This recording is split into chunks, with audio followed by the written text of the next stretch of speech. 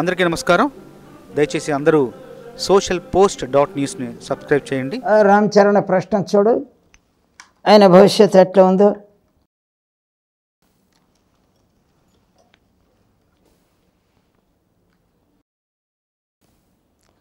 భోళశంకరుడు దీవించినట్టు ఉంది.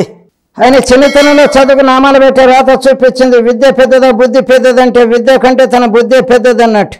ఆయనకు సోదరులు సుఖపడే అవకాశం మాత్రం లేదు ఆయనకు. ఇప్పుడు యోచించింది అనుకుంది. కానీ సదుసంస్కార సంస్కార విషయం కాదు సంసార విషయంలో కానీ ఇప్పుడు చేస్తున్న కృషి పేరు మాత్రం ప్రంతు దాంట్లో ఇంకా పైకి రాగలిగే అదృష్టం ఉందా లేదా మనసులు పెడుకున్న తప్పకుండా దాంట్లో పైకి వచ్చే అవకాశం కూడా కరెక్ట్ ఉంది.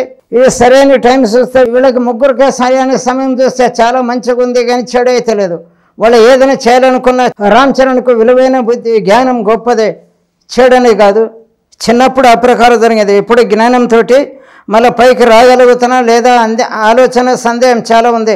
ఆయనకు పైకి వచ్చే అవకాశం ఉంది. కానీ సూర్యచంద్ర కేతు మంగళ బుధ గురు రహు శుక్రశని తొడలి పిల్ల దుంకిలాడినట్టే ఉంది. జింక ఎగురులాడినట్టే ఉంది ఆయన పని. ముందుకు పట్టుదల చేస్తున్న పని కృషితో చేస్తే దాంట్లో మాత్రం పేరు వస్తుందా లేదా మనసు ఉంది. తప్పకుండా పేరు తెచ్చుకునే అవకాశం అయితే రూపాయలు అరవై పైసల భాగం కరెక్ట్ వచ్చేసి ఇంకా సరైన టైం ఇంకా నలభై పైసల భాగం పూర్తి రూపాయి చేసుకుంటారు. పర్వాలేదు. శుభం ఉంది అపశుభం అయితే లేదు. తండ్రి కంటే ఒక భాగం ఎత్తే అయితే తక్కువ కాడు.